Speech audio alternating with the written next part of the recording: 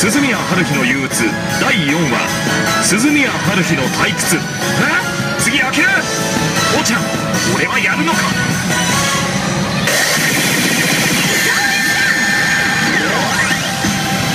春日の思いつきで始まった試合も最終回。第貸してあ。直直情報ブースト変これまでにない規模の閉鎖空間が発生し始めました。ここで試合が終わるようなことがあれば世界が終わってしまうことと同義です。